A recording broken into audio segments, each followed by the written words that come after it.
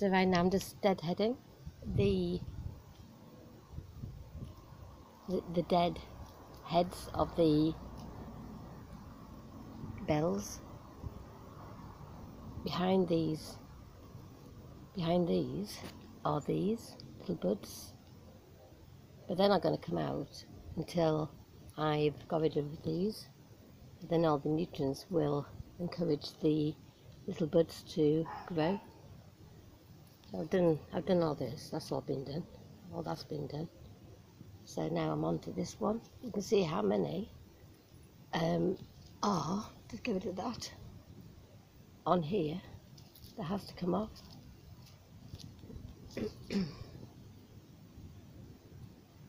I think they're called Italian bells. I'm sure my mum said that. Yeah Italian bells